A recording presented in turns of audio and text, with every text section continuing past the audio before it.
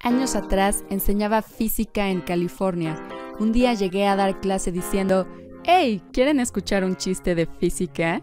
Sí, claro. Venga. La luz tiene masa. No lo sé. ¿Tiene? No, ni masa para pastel, ni chocolate, ni dulces. ¿En, serio? Me debí volar clases e ir a la playa. ¡Qué, ñoño! Pero espera, ¿no debería la luz tener masa?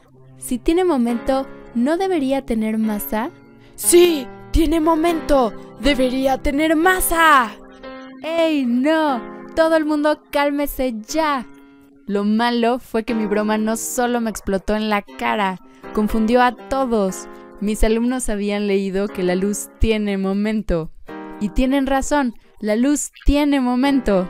Pero luego llego yo a clase y les digo, ¡Hey!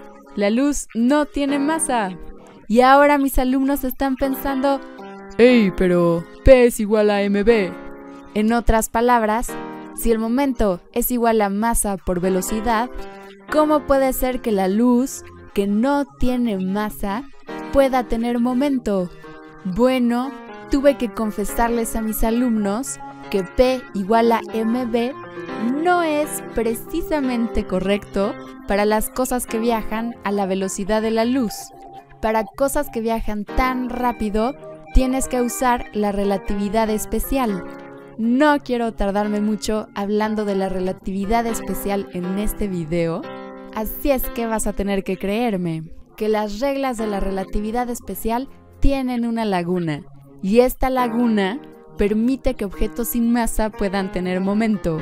Ahora, la mala noticia es que no podemos usar P igual a mv para encontrar el momento de un fotón.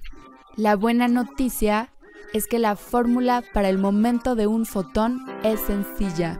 El momento de un fotón es igual a h sobre lambda.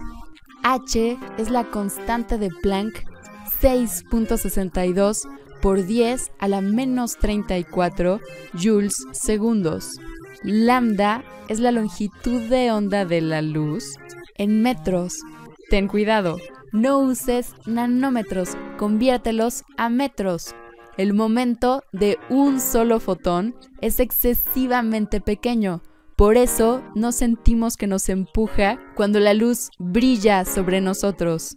Pero teóricamente, si tuvieras una vela solar suficientemente grande, la luz rebotando en tu vela solar la impulsaría hacia adelante, gracias al impulso impartido por el momento de la luz.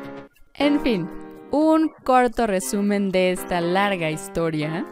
Nunca, jamás, jamás debes usar P igual a mv para encontrar el momento de un fotón para encontrar el momento de un fotón, siempre debes usar momento igual a h sobre lambda.